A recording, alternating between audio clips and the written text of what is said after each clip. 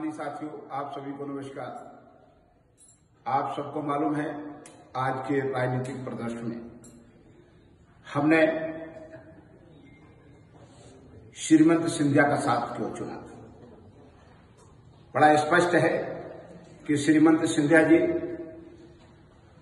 ग्वालियर, चंबल और इस पूरे प्रदेश के विकास के लिए हर उस गरीब की आवाज़ बने हर गरीब के संकट के समय साथ खड़े रहे और हमको जैसे अनेक साथियों को सड़क से उठाकर इस स्थान तक लाए।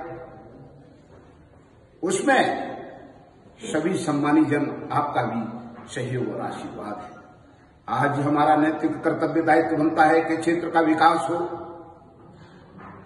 और अगर हम विकास करने में कहीं दिक्कत, परेशानी महसूस करें या विकास न हो तो फिर हमें क्या करना चाहिए? वही काम हमारे नेतृत्व श्रीमंत सिंधिया जी ने किया। आप लोगों के विकास के लिए, किसी पद और लालच के लिए नहीं। तो हमने, मेरा भी नैतिक कर्तव्य था, उसके नाते से हमने सबने ये तय किया है कि हम श्रीमंत सिंधिया जी के साथ हैं, क्षेत्र के सम्मान के लिए जनता जनार्दन के साथ हैं।